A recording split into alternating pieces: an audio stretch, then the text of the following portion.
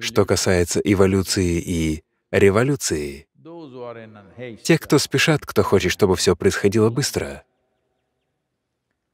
революция — это поворот. Поворот означает совершить круг. Если вы ходите по кругу, вы будете продолжать возвращаться в исходную точку. Развиваться — значит постоянно двигаться вперед. Природа успешно использовала такой метод. И мы тоже должны двигаться таким образом. Мы немного торопимся. Так что все, будь то экономика, социальные процессы или даже духовный процесс, для огромного количества людей все заканчивается плачевно, только из-за спешки. Если вы можете делать все быстро, это другое дело. Но спешка не обязательно ускорит процесс.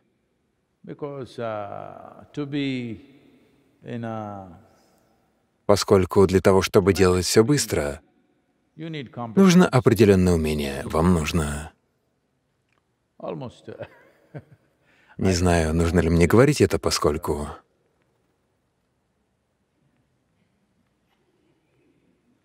Ничего. Мне всегда нравится, как люди спрашивают меня, «Садгуру, Садгуру, вы получаете адреналин от быстрой езды на мотоцикле или на машине? Нет. По мере того, как я разгоняюсь все больше и больше, я делаю так только, когда еду один. Когда я действительно разгоняюсь, я становлюсь практически абсолютно неподвижным. Потому что если у вас нет равновесия, скорость — это опасная вещь. Это происходит от того, что вы торопитесь. Вы хотите попасть куда-то. Из-за того, что вы хотите куда-то попасть за определенный промежуток времени, если вы гоните, всегда есть возможность, что что-то произойдет. Но если вы быстро едете, потому что такова ваша природа, потому что вы можете справиться с этим. Вы не соревнуетесь ни с кем, не едете на время, вам не нужно попасть куда-то. Вы просто управляете чем-то в соответствии со своими способностями. Это другое. Так должно происходить во всех сферах жизни. Но этого не получится сделать в спешке. Это возможно только при сохранении баланса. Если присутствует абсолютный баланс, тогда можно делать все на максимуме своих возможностей а не как кто-то другой. Кто-то может творить чудеса. Мы будем делать только обычные вещи, но мы будем делать их хорошо, наилучшим возможным для нас способом. Так что это спешка, которая вселилась в людей. В наши дни, в какой бы университет я ни пришел, сначала я не знал эту терминологию, теперь я, конечно, знаю. У них есть такое понятие, как Синдром упущенной выгоды, что кто-то где-то прямо сейчас развлекается без вас. Я сижу, просто читаю книгу, но у кого-то сейчас вечеринка. Кто-то другой делает то-то, другой делает это. Как только попадаешь в этот безумный круговорот, из него уже не выберешься. От этого нельзя избавиться. Это порабощение. Наихудшая форма рабства. Потому что вы хотите делать все, что делают другие. Это тоже эволюционная проблема. Это откат. Это эволюционный уровень обезьян. Если одна делает что-то, все остальные начинают делать то же самое. Что ж, это тоже эволюционная проблема. Поэтому важно, когда мы говорим о духовном процессе, самое важное — учиться быть неподвижным. Тогда действия перестанут быть неконтролируемыми. Действие должно быть целенаправленным. Когда я хочу что-то сделать, я делаю это на полную. В противном случае я могу просто сидеть здесь. Однажды, тогда мы только запустили школу-пансионат Иша, я пришел туда посмотреть на детей. У них было утреннее собрание. Uh, И все эти шести, семи, восьмилетние дети сидят там вот так. Я просто посмотрел на них и спросил, почему? Почему эти дети как поломанная юла? Знаете, что такое юла? Уже такого нет понятия, да? Дети все еще играют юлой? Уже такого нет. Но неважно. Юла должна быть хорошо сбалансирована, чтобы стоять вот так. Вы не можете понять, крутится она или нет. Она стоит вот так. Если она сломана, она будет крутиться вот так. Эти дети не могут усидеть на месте. Я спросил, что с ними происходит? Нет, Садгуру, это же дети. Они всегда такие. Чьи это дети такие? И мы начали с самого простого. Семь музыкальных нот. Сари гама пада ниса. 12 минут каждое утро. Через два месяца они все сидели вот так. Вот и все. Проблема сейчас в том, что наши образовательные процессы происходят в торопях. Люди спрашивают, Садгуру, в США одна женщина спросила меня, она была на пятом-шестом месяце беременности. Она хотела, не знаю, как это называется, что-то вроде... Она хотела научить своего ребенка чему-то до его рождения. Серьезно. Проводят такие программы, где разными методами пытаются запихнуть математику и другие дисциплины в голову ребенка. Я не знаю, что именно они там делают. Я сказал ей, видите ли, в Индии есть два ярких примера того, как кто-то обучался в утробе матери. Оба эти примера стали страшными катастрофами. Один из них — Аштавакра. Находясь в утробе матери, он слышал, что говорит его отец, и так он получил свое образование. И затем он начал с ним не соглашаться оттуда. Из-за этого отец проклял его, а может и само обучение превратило его в абсолютно деформированного человека. К счастью, он расцвел во что-то иное, потому что все его тело было деформировано. Другой пример — Абиманию, сын Арджуны. Он тоже услышал некоторые секреты, когда находился в утробе матери. Правда, он услышал только половину. После этого, возможно, она решила выпить воды. Второй части он не услышал. Представьте, вы внутри, слушаете,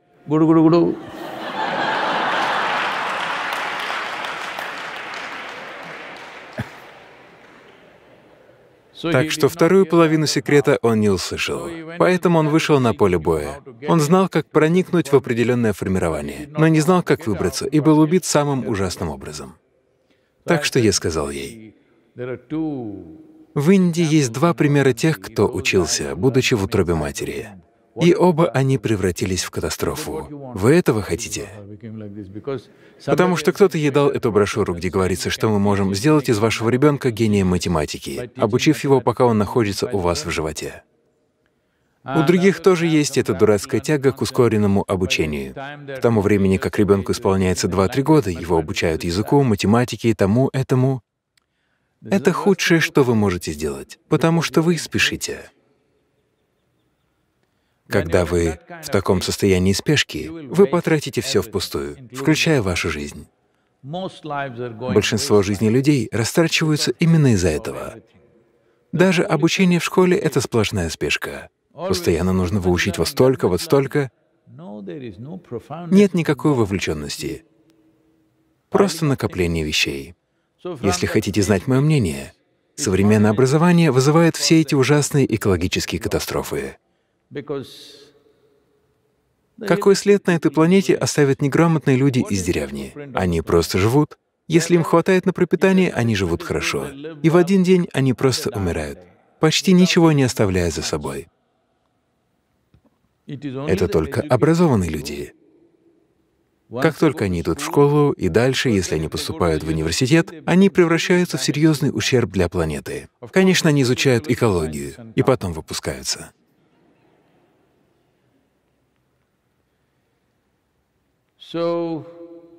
Если вы избавитесь от этой спешки внутри вас и от того, что вы хотите всегда быть впереди всех, Тогда просто сидеть здесь, закрыв глаза, будет очень легко. Если кто-то опередит меня, мне-то что, в чем проблема? Если опережает, пусть идет. Столько людей, невообразимое количество людей опередили вас и умерли. Целое поколение. Вы их хотите обогнать? Почему вы не хотите посоревноваться с ними, скажите мне?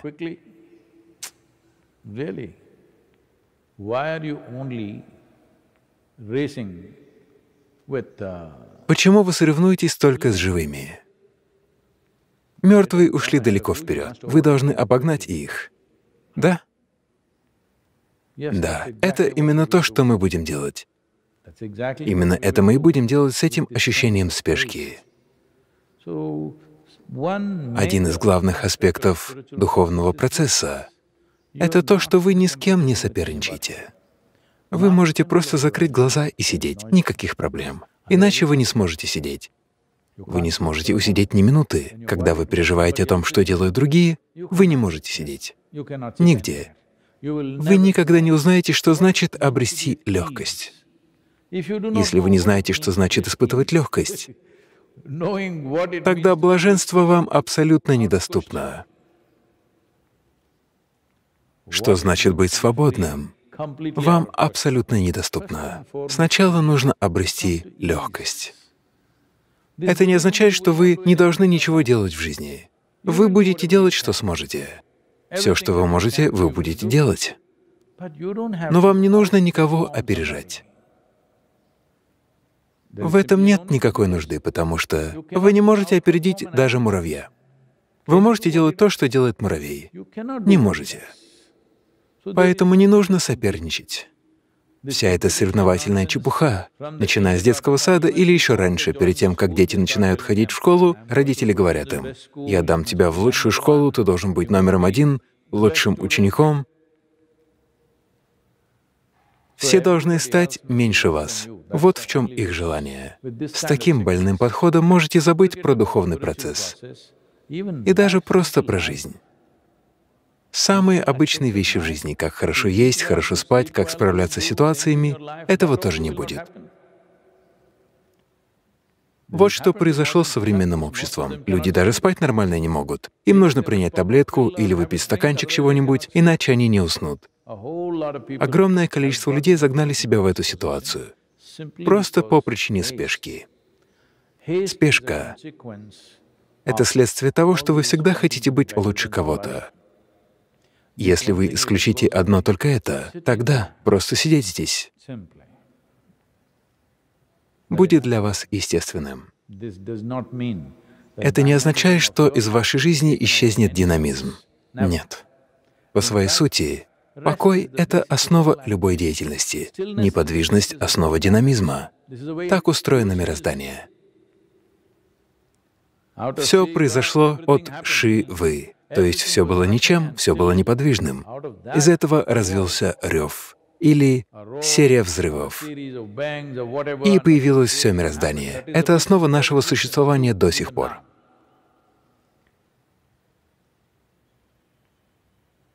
Люди не могут справиться с основополагающими аспектами, но они продолжают совершать самые разные вещи в жизни. Самая фундаментальная вещь, которую вам необходимо понять вы никогда не можете быть лучше, чем кто-то, или хуже, чем кто-то. Все это только в вашем уме. Вы сами это придумываете. Отчаянное желание стать лучше, чем кто-то, появляется только потому, что вы не нашли ничего стоящего внутри себя, ничего ценного внутри себя. Иначе почему вы хотите стать лучше других? Просто потому, что не нашли ничего ценного вот здесь. В этом вся проблема если не инвестировать в этом направлении. Если люди не будут инвестировать в этом направлении, мы доведем себя до катастрофы.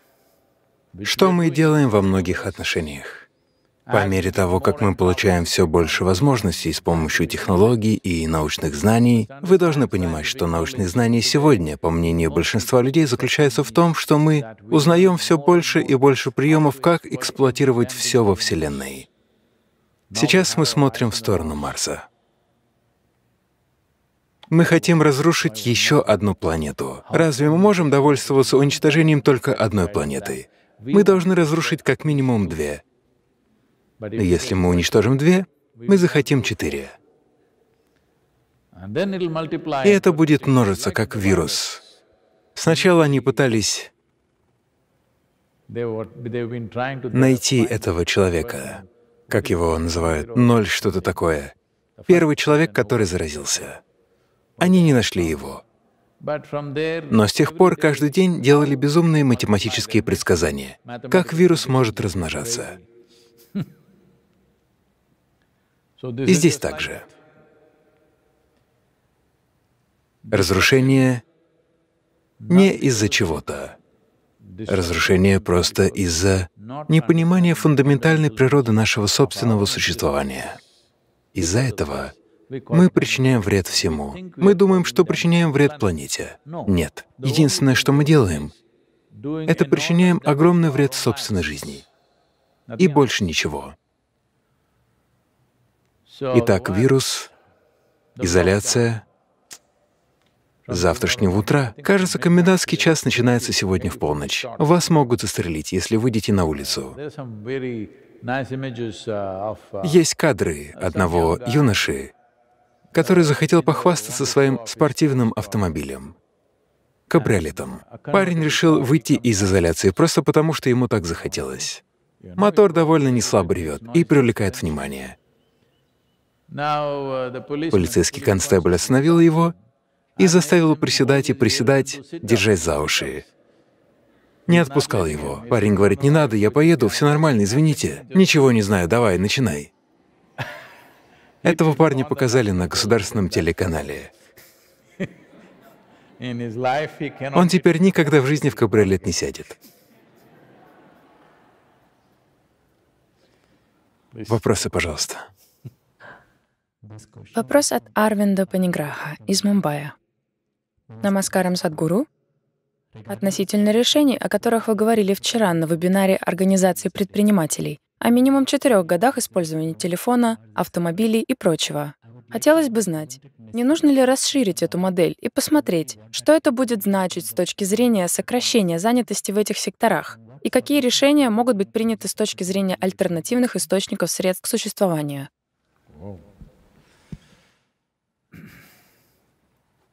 Вчера мы участвовали в конференции с предпринимателями.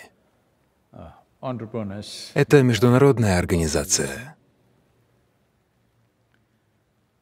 Они спросили меня, «Садгуру, как нам двигаться дальше? Вирус пока что остановил весь бизнес».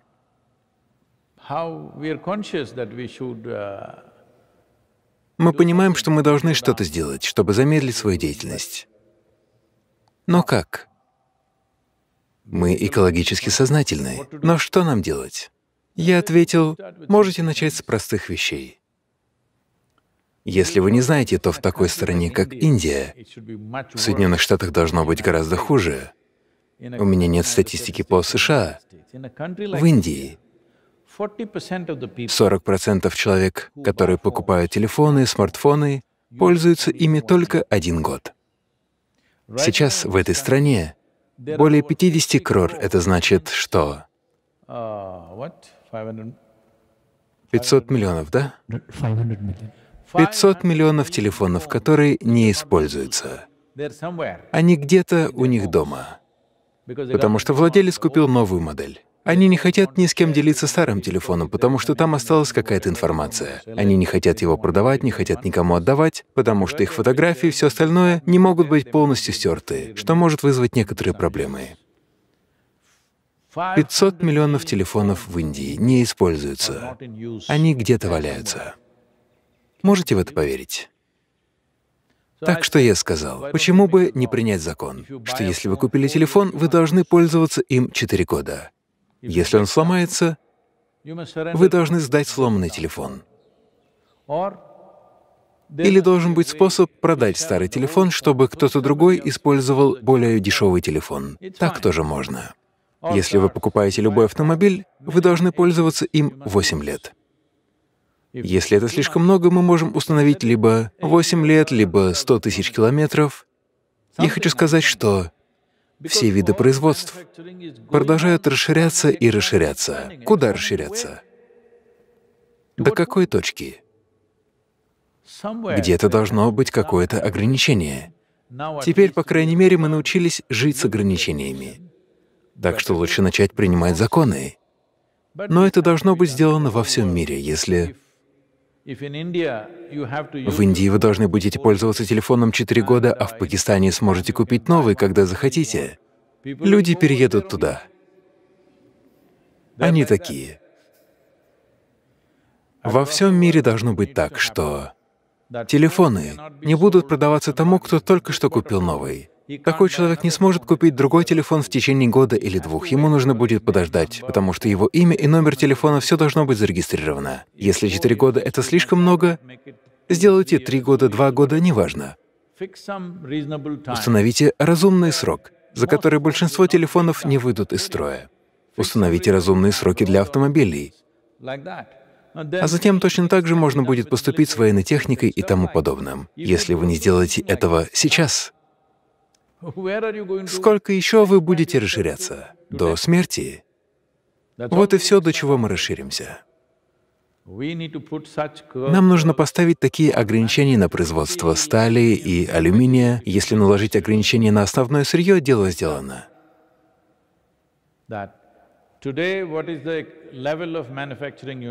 Нельзя повышать текущий уровень производства в течение следующих 25 лет. Нужно установить это. Если вы производите в стране такое-то количество стали, вы должны остановиться на этом. Неразвитые страны, развивающиеся страны, если вы хотите дать им немного свободы действий, можете дать им возможность наверстать упущенное. Но как только мы достигнем определенной точки, для определенного количества населения производится определенное количество. Нужно остановиться на этом, иначе люди будут продолжать использовать вещи все более и более бессмысленно. Сверхимеющегося у нас нет. На этой планете все есть только в том количестве, которое уже есть, и не больше. Если думать с точки зрения компании, было время, когда у всех было по 6-8 детей, сегодня все свелось к двум, одному. Многие выбирают не иметь детей. Я даже пригрозил учредить премию для женщин, которые не будут заводить детей.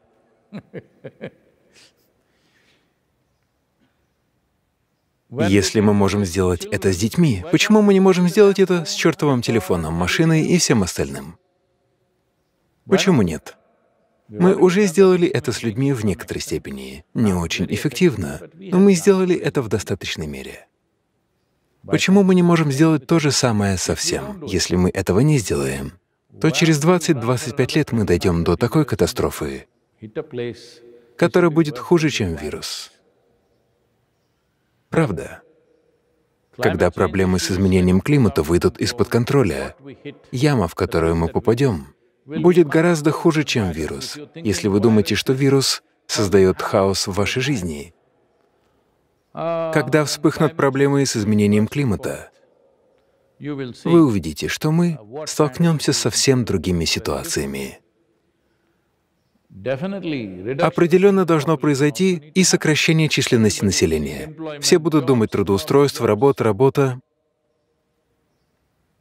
Больше людей могут петь, танцевать, делать цветы. Есть много вещей, которые вы можете делать. Не все должны быть заняты на производстве чего-нибудь. Это происходит потому, что мы перешли в этот режим и начали верить, что надо жить так. Сто лет назад на этой планете никто так не жил. Всего сто лет назад. Сто лет назад в некоторых частях мира уже начали. Скажем, 200 с лишним лет назад никто и нигде так не жил. Все работали в полную силу, чем бы они ни занимались. И люди жили счастливо и хорошо. Единственный процесс, который мы приветствуем, это разные медицинские достижения, которые позволяют людям жить полноценной жизнью. Больше технологий, больше улучшений в уже имеющихся технологиях, Без определенного уровня утонченностей ничего не может быть выпущено. Просто потому, что любой идиот может произвести все, что угодно, все это выходит на рынок. Это нужно прекратить. Нужно ли это для этого мира? Можем ли мы себе это позволить? Необходимо это решить, не так ли? Для контроля этого есть некоторые законы, но этого недостаточно. Время вируса — это, по крайней мере, хорошее время, чтобы подумать об этом. Тогда, конечно, люди скажут, «Садгуру, не сыпь нам соль на рану. Нам и так больно. Мы не знаем, что делать с нашей отраслью, не знаем, как обеспечить людей работой. А теперь ты добавляешь, что нам нужно сократить производство и сделать это». Не я. Природа напоминает вам. Принять это напоминание. Вот и все, что я говорю. Как-то раз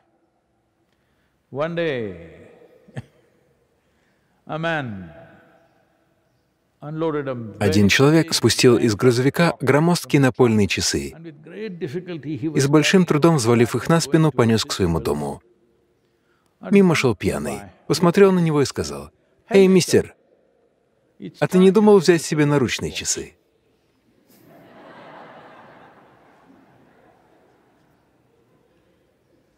Пришло время завести наручные часы. Для таких простых процессов мы тащим такие громоздкие вещи. Пора нам их уменьшить. Я предлагаю просто взглянуть на это. Если вы сами этого не видели, многие из вас слишком молоды для этого. Но посмотрите, скажем, какой-нибудь голливудский фильм 70-х или 60-х годов. Вы видели, какие там машины? Из одной можно сделать пять машин, столько в ней металла. Да? Их строили как корабли. Сейчас из того же количества металла мы производим две-три машины. Это улучшение, не так ли? Но почему, чтобы прийти к этому, нам понадобилось 50-60 лет? У нас достаточно мозгов и достаточно способностей, чтобы сесть и усовершенствовать все это в ближайшие три года. Все, что можно усовершенствовать и минимизировать, это возможно сделать сейчас. Одно только это создаст феноменальную занятость. Это означает, что каждый должен применить немного больше изобретательности в своей жизни.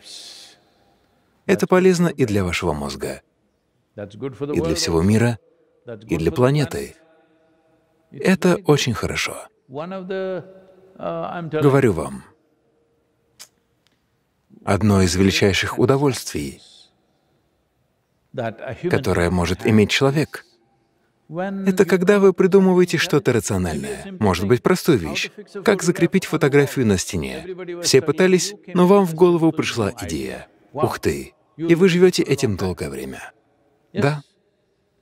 Потому что Видите ли, сейчас некоторые люди жалуются. Почему футболистам платят больше, чем людям, занимающимся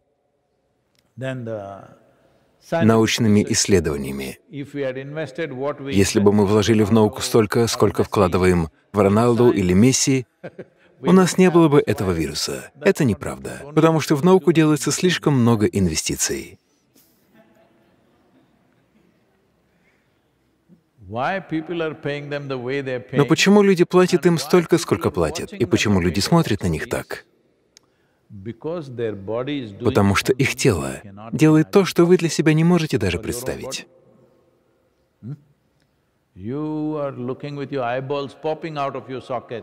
Когда Рональдиньо играет, ваши глаза выскакивают из орбит, потому что он делает то, о чем вы даже не можете и мечтать. Используете ли вы таким образом свое физическое тело, или вы таким образом используете свой ум, что угодно. Это вызывает огромное удовлетворение и наполненность в вашей жизни. Я не говорю о духовном процессе. Это другое измерение. Для кого-то, кто живет простой жизнью. Почему игра в гольф приобрела такое значение? Потому что в любой другой игре, в которой вы играете с кем-то, если вы не очень хорошо играете, вы всегда можете что-то сказать о другом человеке. А здесь просто дурацкий мяч. Мне не следовало бы вам этого говорить. Я скажу вам через несколько дней. Я кое-что сделал сейчас. Это мяч. Но проклятый мяч не слушается вас. Он летит так и так. Поэтому, когда Тайгер Вудс или кто-то еще играет, у всех глаза из орбит вылазят, потому что он делает с мячом все, что хочет. Вот и все. Что еще он делает? Мяч просто идет туда, куда он хочет его отправить. Вот и все. Поэтому, когда тело функционирует так, как вы хотите, возникает глубокое чувство удовлетворения. Когда ваш ум функционирует так, как вы хотите, возникает очень глубокое чувство удовлетворения. И только когда вы делаете все механически, пойди туда, выполняй свои обязанности 8 часов, отправляйся домой, можешь напиться, в конце месяца получи зарплату. Что это за жизнь? Когда я был молодым, мой отец всегда волновался. Он ушел всего несколько месяцев назад. Он всегда волновался. Этот парень ни на что не годится. Что он будет делать? Как он будет зарабатывать на жизнь? Я никогда и не думал о том, как зарабатывать на жизнь. Я думал, что это пошло. Как заработать на жизнь? Такая мысль мне никогда даже в голову не приходила. Я ходил в школу, в колледж из-за того, что мне было интересно, но никогда ради заработка на жизнь. Поэтому, когда я поступил на такую специальность, которая определенно не могла обеспечить мне работой, В семье возникло немало беспокойства. Однажды он очень распереживался, и там были некоторые родственники, и он сказал, что делать с этим парнем? Он ни на что не годится. Тогда я сказал, не беспокойся о том, как я буду зарабатывать себе на жизнь. Просто скажи мне, когда мне нужно покинуть этот дом. Когда ты скажешь, через две минуты я уйду. И не беспокойся обо мне. Я найду, где жить. Если не будет ничего другого, я отправлюсь в джунгли и буду выживать там. Потому что я путешествовал по западным гадам. Я знаю, где жить, как выживать. Даже не видя человеческого лица, я выживу. С этим нет никаких проблем. И прежде всего, раз я ни на что не годен, это означает, что я могу делать все, что мне захочется.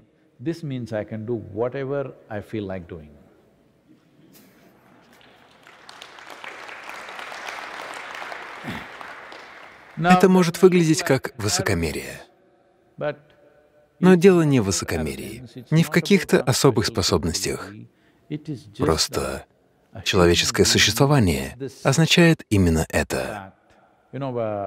Знаете, с нашей программой Insight и связанной с ней другими программами мы изменили ситуацию.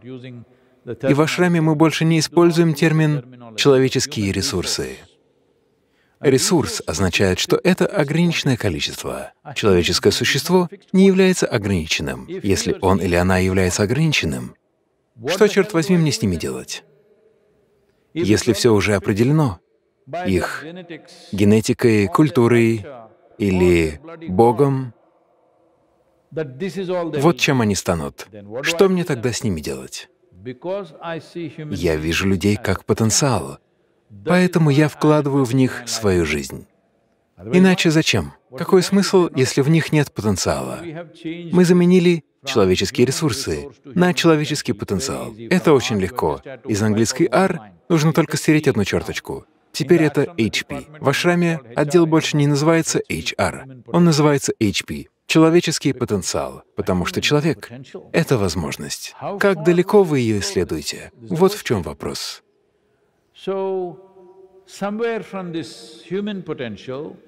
Мы рассматривали все только с точки зрения, как делать больше.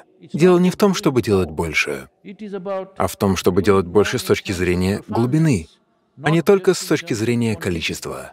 Когда мы занялись массовым производством вещей в мире, все прекрасное ушло.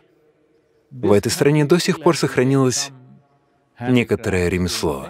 Знаете, ручное изготовление чего-нибудь. Каждый кусок ткани, каждый метр того, что делает работник на ручном ткацком станке, уникален и неповторим. Но теперь это производит на машине. А парень, который стоит рядом, просто наливает немного масла или добавляет красителя и просто стоит там. Он никак не вовлечен. Мы создали мир таким, потому что Кому-то хочется больше денег, больше денег, больше денег. Вот и все. Все говорят о миллиардах и миллиардах. Говорю вам, если я добавлю вам еще сотню лет жизни, скажем вам 50-60 лет, мы дадим вам еще 100 лет. Что вы будете делать с сотнями миллиардов долларов? Скажите, что вы будете делать? Какую-нибудь ерунду. Они скажут, я буду заниматься благотворительностью. Но почему? Зачем захватывать деньги и потом отдавать обратно? Я не настроен против тех, кто так делает. Я рад, что, по крайней мере, они делают так. Другие же уходят и хоронят это в своих могилах. Вы видели этих царей, этих египетских фараонов и других людей? Они похоронили огромное количество золота и вещей в своих могилах, думая, что они им пригодятся где-то еще. А те, по крайней мере, пытаются вернуть. И это считается большим достижением. Я сказал, зачем брать больше, чем нужно, а потом отдавать обратно? Если мы изменим этот порядок, мы можем изменить все. Что мы сделаем с этими семью с половиной миллиардами людей? Можно сделать много всего прекрасного. Не обязательно продолжать производить больше автомобилей, по крайней мере, давайте решим, сколько людей должно существовать на этой планете. Сколько должно быть автомобилей, сколько должно быть чертовых телефонов, сколько должно быть других устройств.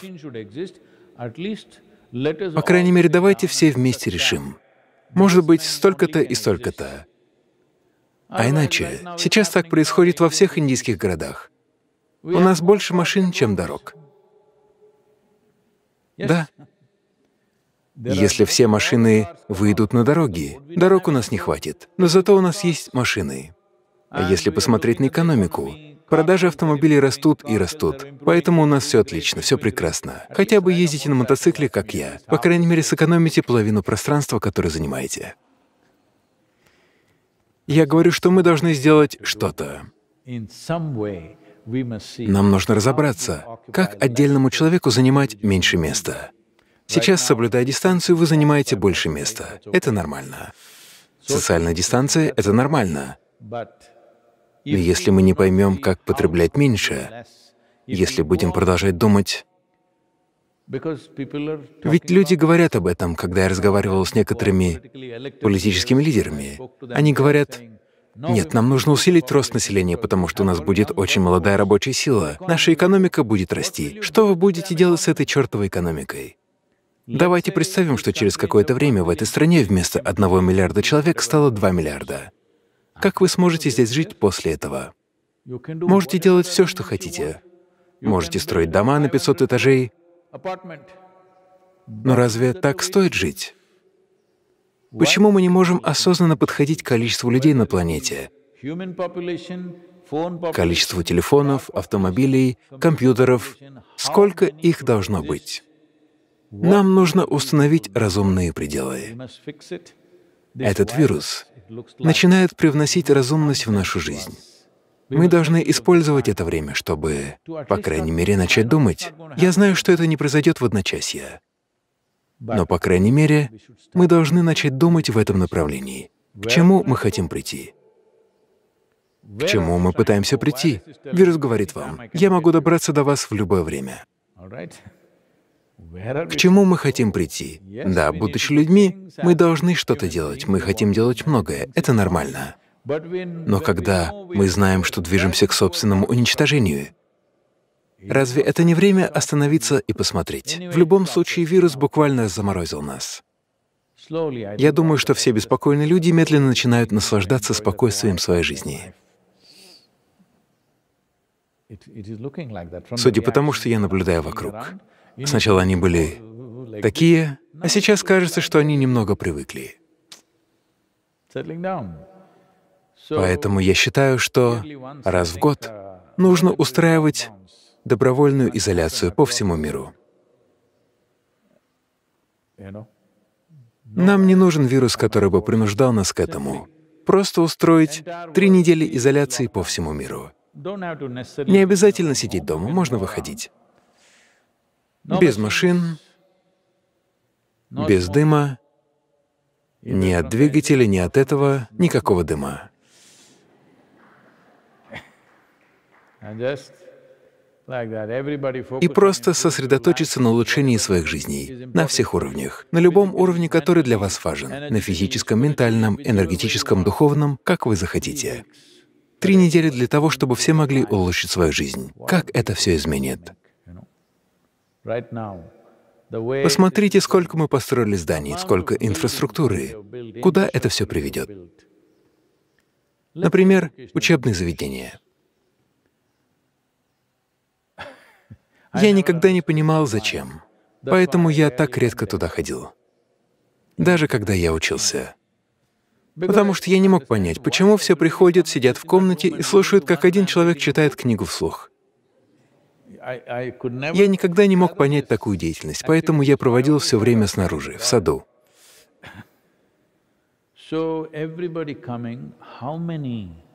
И сколько же мы построили миллионов квадратных метров зданий, чтобы обучать людей? В свое время мы думали, что это необходимо потому что находились в режиме массового производства, массового производства в промышленности, в образовании, массового производства во всем. Теперь знания или информация доступны везде. Все, что вам нужно, чтобы кто-то вдохновил людей стремиться к чему-то. Стремиться к чему-то, что для них имеет значение в жизни. Это все, что нужно. Информации полно. А что будет, если я не получу диплом, какую-нибудь степень? вы можете добавить ноль к своей главе. Это тоже будет степень.